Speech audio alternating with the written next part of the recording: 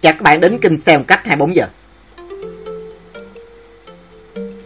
Vẻ đẹp kêu gợi từ cái mập beam S1000 RR Beam S1000 RR sở có sức mạnh chạm ngưỡng là 200 mã lực. Với thiết kế là kịch độc, qua đầu mắt xếp độc quyền, Làm cho nó trở thành tâm điểm, đầy lôi cuốn với những ai yêu thích tốc độ. Và chú cái mập của biker người Thái đã trở nên hiếu chiến hơn Qua những nâng cấp đánh giá.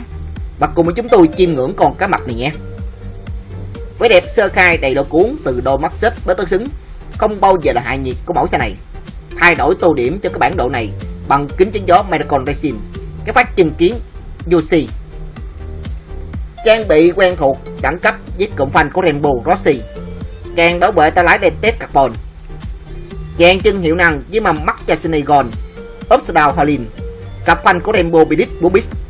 Cái đĩa kép của Rainbow dây dầu s, ngắt dầu BSI toàn thân sử dụng cái bộ ốp carbon siêu nhẹ từ thương hiệu Imager đánh bật cái vẻ đẹp của chú cá mập số 3 này lên một tầm cao mới. Dàn âm thanh đầy lôi cuốn hiện qua những thương hiệu như ống xả, Yoshimura Titanium.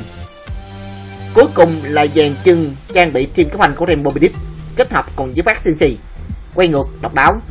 Bên đạp của Rainbow Bidit mâm mắt Cassini vàng gold tổng thể đẹp thu hút ánh nhìn từ cái cái mặt beam đúp S1000 R thu hút trong cái góc phòng. Gamma R1 căng nét qua cái uh, hình phong tem đấu cực kỳ chất.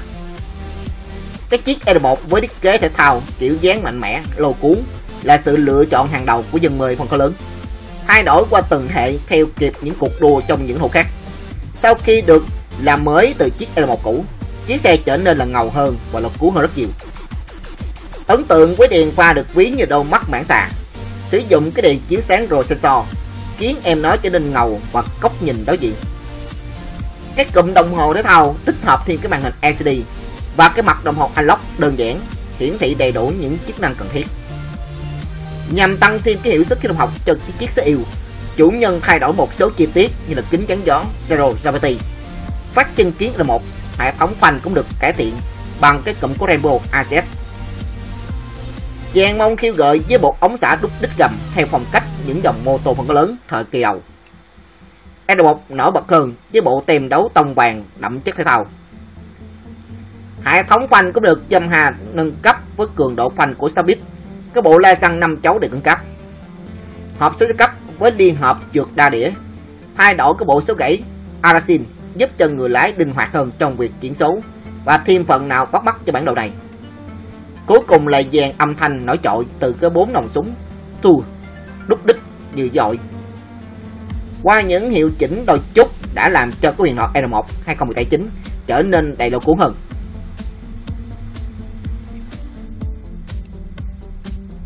Cảm ơn bạn giảm này là chi nhớ like, subscribe.